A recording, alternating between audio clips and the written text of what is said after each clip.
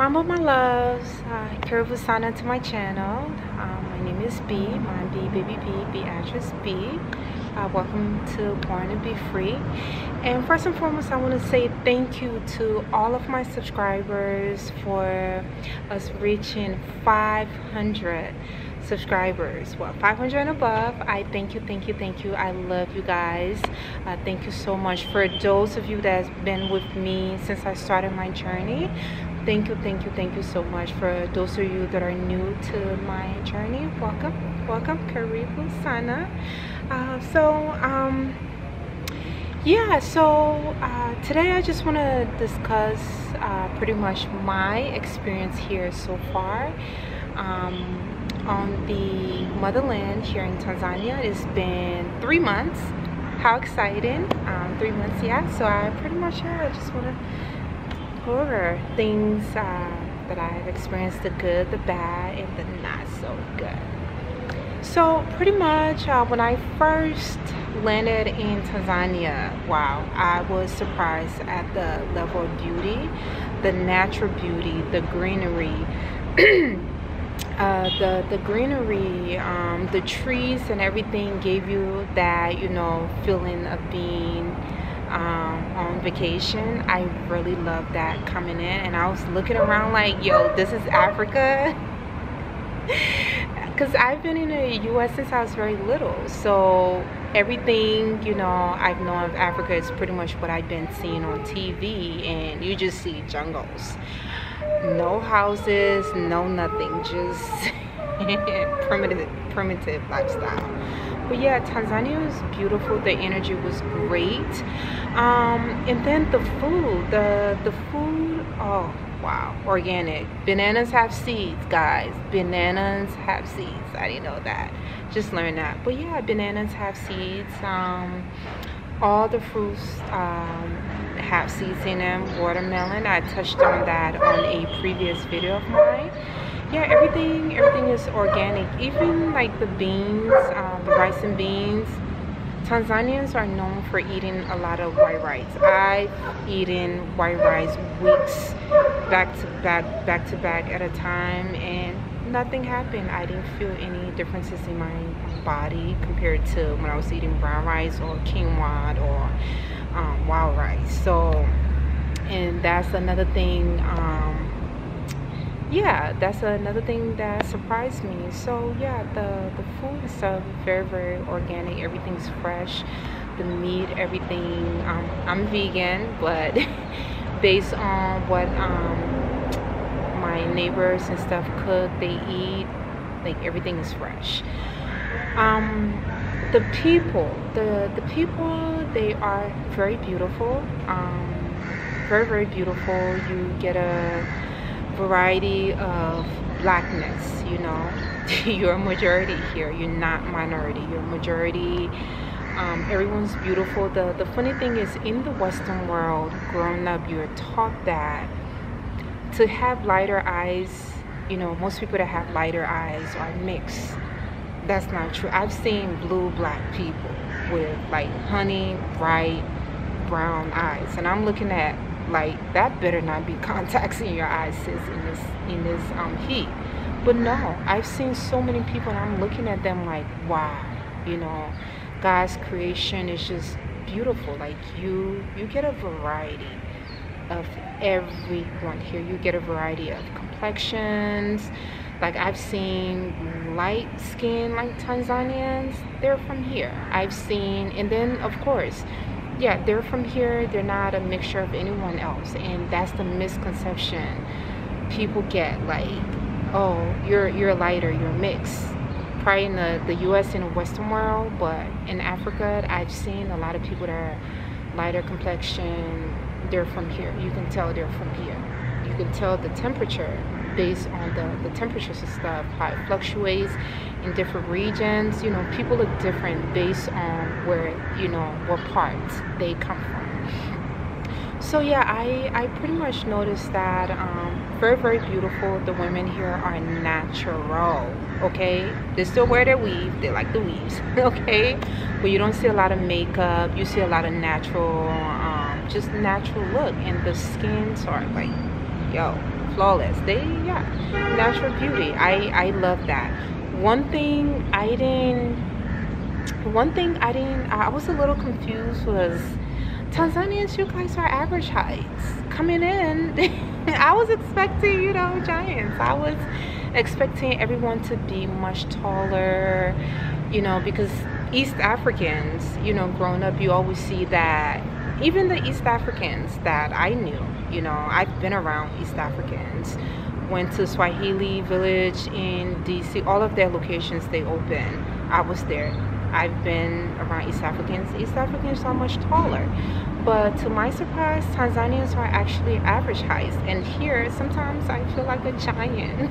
And i'm like five seven five eight. So yeah that that was one of the um, surprise um, one of my one of the surprises here and okay so we've done with the good.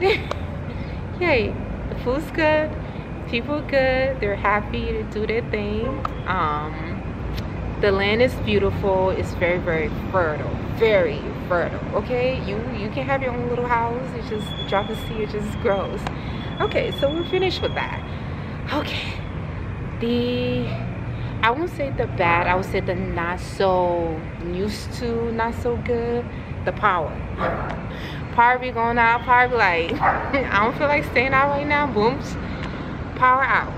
Power goes out. Whenever the power feels like going out, it goes out. Power does not. Power goes out. Okay. So if you're coming in, just you know i have few i have other videos that touch on different things you can bring if you're coming in and stuff yeah because the power does go out i have my candles i have my flashlight like this who's that coming in? My neighbors like bitch just put the flashlight down. Yeah so the power goes out whenever it wants to go out but it hasn't stayed out that long. I haven't experienced like more than 20 minutes of an outage and so forth. Um, and when it goes out i go bother my neighbors. That's about it. Um, secondly oh dar is hot dar is i. Dar is hot. Okay dar be like okay you sure you want to walk up the street? It just be like shh the heat just be on your back like just on your back okay? Like to the point that where you just have to catch a boda or something. Something that will normally take you less than two minutes to get there. It's like look i don't care. Just boda just take me right there to that shop and they'll be looking at you like what? I need that air to hit me. Just take me right there. Okay? So yeah it's it's very very hot but then again the temperature does cool down especially at night and then now it's rainy season so the temperature has been much cooler and so forth but it's not really unbearable hot but if you're not used to heat heat hot and I'm West African descendant okay it's hot. I don't care it's, it's hot. Okay it's very hot. Um okay so we're finished with the not so good which are not like really major issues. Oh okay. The accent pricing. The accent pricing. When you start speaking Kiingereza English. Price come from I don't know 500 Tanzanian shillings to like 5,000 Tanzanian shillings and I'm like I went I bought it from there before. All of y'all on the same strip your prices is the same. We're not playing this today okay? Accent pricing hey that's no joke. I don't care what anyone say. It's the truth okay? I don't care. You can go in local area. It might not be three times as much. It might just be a time and a half you know because you know locals are much nicer than no let me not say that. In tourist area it's different. They will charge you five times the amount. They don't care. If you go to somewhere further out and you speak english you try to mix the swahili with the english they might charge you i don't know like a, a dollar and a half you know and which is is very affordable. So yeah accent pricing is very real okay i have something coming up that will kind of like teach you a few things so you know just the basics to know before coming here in tanzania okay So we have the good, the not so good, and then the ugh. Really, sis or brother, you have people that are on this fast come up that when they see you're new, they'll just try to like stick themselves on you like little parasites and it's like go away. Um, and it's just like you're looking like like they will tell you they'll start telling you stuff about businesses family life story like i don't owe you anything and just stuff like that will make it seem like they're going to take you around but by the time you get to phase one the second phase you probably done spend like i don't know a hundred thousand tanzanian shillings and that's like 43 dollars us that's a lot of money. That's a lot a lot of money. But so for me the way i the way i see it is that situation is like anywhere else in the world if you move from I don't know Maryland and you go to California, their hustle is different. And people know you don't you don't know the area. Yeah they might try to you know get a dime or two off of you. And that's what I've noticed here. Um, but then there are also brothers and sisters you meet. They'll laugh and be like you're American uh-uh. But they'll tell you no don't go here don't do this. Call me um, you know let me know if you want this. I'll bring it for you. And you know yeah there there are people here that are very genuine. But yeah there there are some people here that will just you just be sitting there like yo i'm i i am book smart and uh, street smart as well. So no that's that's not going to work and yeah there are people here that are very very very genuine. And um so yeah based and some you know other experiences that i had have had had was pretty much uber. So uber is fixed but it's not the price is not really 100% fixed. So let's say for instance um, there's a set location you're going to as long as the driver takes those specific routes it is fixed. But if those drivers if they're hip okay to the game that they can go to Dodoma and go to Arusha and come all the way back before take you to somewhere that's five minutes away then it would charge then you're pretty much charged much more. So there there are drivers who has done that. And I'm sitting there looking at him like Oh no I'll take this. Don't worry. Don't worry. You're fine. You're fine. I take this. Then they go they take all the corner corner corners. Something that's supposed to cost you like i don't know 2500 less than a uh, probably like a dollar and i'm costing you like three dollars. And then you get there and then i'm like you could have just went straight. I know. I won't use you again. I know. And then it was just still it was just have this look like how she know? Like i know um, there's another situation where my uber driver purposely sat in one spot for 10 minutes because he wanted to reach 10,000 10,000 that's a little over four dollars US Kumi and I guess someone another Bajaji thought driver thought that he needed help. So he come he, the Bajaji driver uh, parks and he was like do you need help?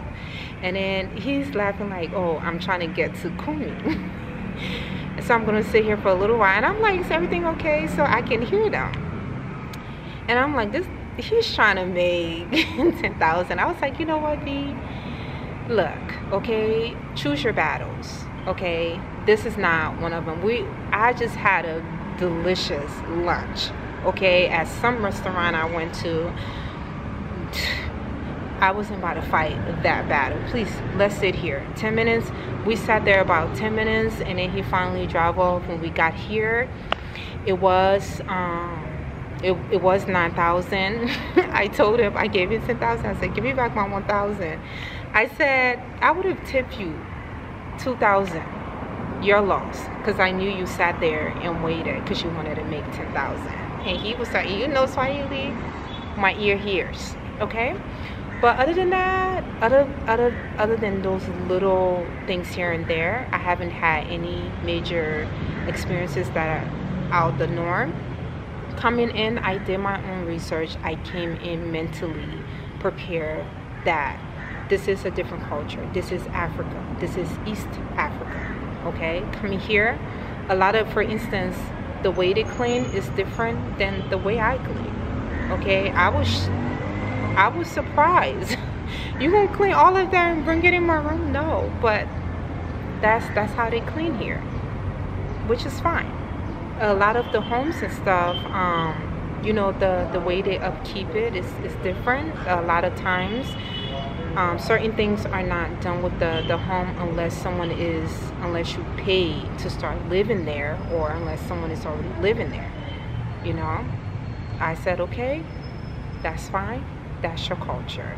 Um yeah but other than that no one is is bothering me. That for me there's really nothing you can handle